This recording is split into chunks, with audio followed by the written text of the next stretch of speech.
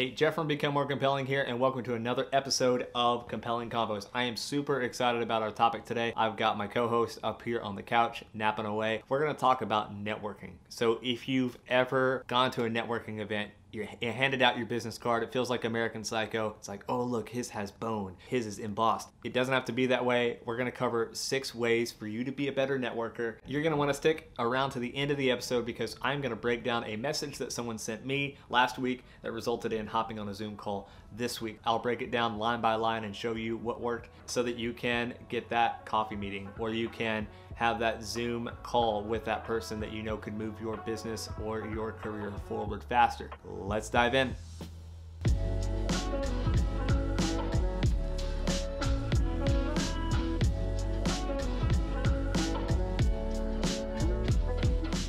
Okay, our first tip, and this is super, super important, is get clear on what you want. So many times I see people who are, you know, they want to network, but they are reaching out to people that have nothing to do with what they want to do because they don't know what they want to do. And that is a recipe for nothing good. For example, if you want to be a creative director at an ad agency, you want to channel your inner Don Draper, you want uh, two scotch lunches, whatever it happens to be, well, would you reach out to people in the healthcare industry?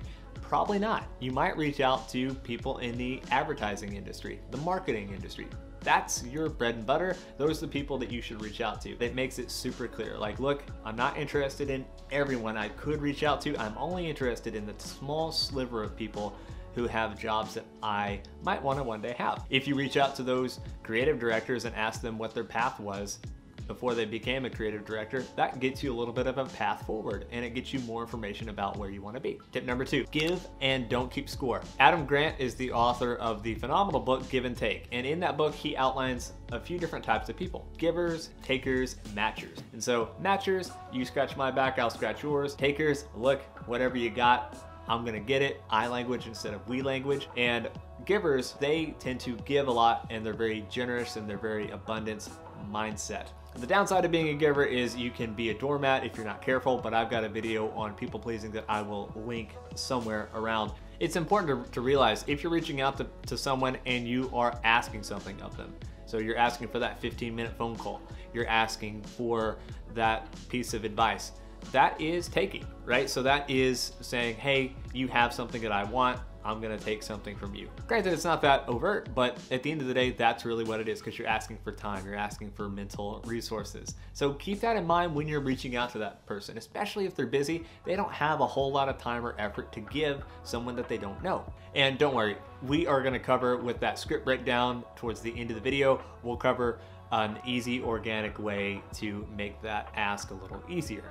But the big thing is you want to give in the beginning. Like if someone's reaching out to me and they've read read a blog post of mine, then that is a marker. They're like, hey, they took action. They read something of mine. I really appreciate that. If you're reaching out to someone who maybe they're a CEO of a company that you might want to work for, like doing a little bit of research into that company is a very good idea.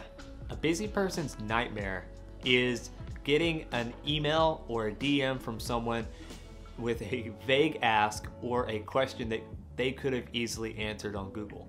Think about it. If you got an email or a DM that seems like it was sent by someone who views you as the last glass of water in the desert and they're asking for something really vague, or they ask a question that could have really easily been answered if they had spent five minutes Googling it, what does that make you want to do? It might make you feel like you don't want to answer them or throw your computer in a lake.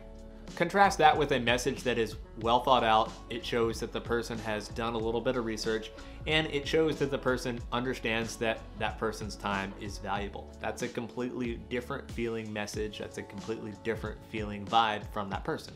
Tip number three, ask for what you want. Make sure it benefits both of you. Most people fear rejection, so they either don't ask for something or they kind of vaguely, passively bring up what they want. Like, oh yeah, maybe we can, maybe there's a way we could help each other and hope the other person takes the lead. Like, look, both of those are losing strategies. You need to be strong in what you're asking for and be specific. Now, it is important that you give before you ask for anything, but when you do ask, be strong about it. Ask your ask and it's really important to be specific. Lead with why it could benefit that person. So if someone wanted to get hired by me and they just said, hey, I really need a job. Uh, okay, what can you bring to the table? Like, if they came to me and was like, "Hey, you know what? I've seen this issue that you that you might have. I can solve it in these three different ways." That is a sign of a top performer and someone that I at least want to have a conversation with. Showing that you've done some work, showing that you've put some thought into that ask is really powerful. And it's powerful because a lot of people just don't do it. So it's easy to stand out by just doing a little bit extra. And if you don't know how you could help that company, so you could reach out to someone at the company. You could do some research on your own. Being able to dig deeper instead of just throwing up your hands and saying, well, I don't even know how I might help. Like, no, create your next job. Dive deep into what needs that company might have. You might be right, you might be wrong, but showing initiative, especially like if you're going on a job interview um, or you're trying to sign a client, whatever it happens to be, that is super crucial because it shows that you put in the work and that you're serious and that you come ready to play. Okay, now we are going to do a script breakdown. So I'm gonna show you the message that got me on a Zoom call last week. And I've sent a similar version of this message because we're gonna talk about the core concepts that make it work. I've sent a version of this message in the past to people uh, like CEOs of companies, people that I wanted to do a collaboration with, and it works really, really well, and I'm gonna show you why.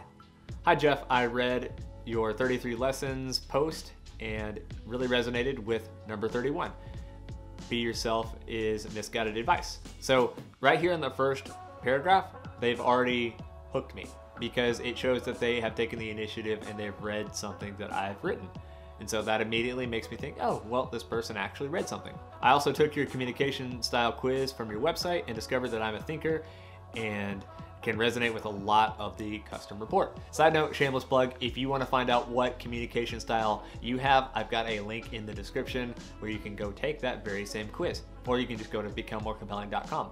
They're already putting in a little bit of effort. And in real minutes and seconds, this took less than five or 10 minutes. Currently, I'm making my way through Ramit Sethi's Earnable course, and I saw that you are a graduate of his there we have a mutual connection. And that is a great way. Like, look, you may not have a mutual connection with everybody on earth. Maybe you could just say, hey, I know Kevin Bacon, or I know a guy who knows a guy who knows a guy who knows Kevin Bacon. You may not have that connection. But if you do have any sort of connection with the person you're reaching out to, might be a mutual friend, you might live in the same city, you might be in the same industry. Key into that. And so anything that you can pull on to say, hey, we know XYZ, or we're both, we both attended this school anything that shows any kind of common connection is a really good thing to include in a message. I'd love to get your advice on starting your own business for 15 to 20 minutes. I'm currently working on something. This is also really good. Can you tell me why? 15 to 20 minutes. That's a pretty low stakes ask. They're not saying, hey, can we hop on a call with no defined end time? A call until like I die of starvation? busy person's nightmare. Do you think I could pick your brain on your journey with Become More Compelling? I'd, li I'd like to know how you did your market research and got your first clients. So here they're asking for something really specific. And in this paragraph, I want you to key in on the first line. I'd like to pick your brain. Now, most people would just stop there. Hey, I would love to pick your brain for 15 or 20 minutes. Eh, you know, it's still probably a no. And the reason why would be because it's not specific. But here, this person lists two specific things that they would like to know more about. From my perspective, this says, hey, you know what? Yeah, I know the answer to these two questions. I could probably help this person out. It's not vague, it's specific, and that is so important. And then the final paragraph here, we've got a couple of times. So that is also really good. It gives me an option of A or B. The key points in this message lead with something that is uh, complimentary, shows that you've done a little bit of research. Because I'm here to tell you people, it's shocking how many times people just don't even bother. And it crushes my soul a little bit every time. So lead with something that shows that you've done a little bit of research. If you have any common connections, call those out. Say, hey, I only want to get on a call for 15 minutes. That's a low, a low barrier ask, or I have a specific question that I wasn't able to solve. It, anything like that is good. And then if you go with the phone call, then hey, here are a couple of times that I'm available. Overall, I give this message a A plus. Uh, it worked because I messaged this person and I was like, hey, sounds good, pick a time here. And I linked them to my Calendly. So that is a really good example of a script that you could use. Now you don't have to use this exact script. I would advise you not to use this exact script. Think of your own. But when you have that person that you want to reach out to, having that general framework is going to be super helpful to you. Next tip, circle back. So after you have that call, say that that CEO tells you, hey, yeah, you should read this book, read the book, do what they recommend, and then circle back to them and say, hey, you know what? I read that book and, and I, it was great. Here are a couple of my takeaways from it. So that is adding value by itself and saying, hey, I took action on that thing that you told me to do. It is so rare. Guys, if I can give you one piece of advice is follow through and circle back. Most people don't do it, so you can stand out by being the exception to the rule. It's also a good way to leave the door open for future conversations.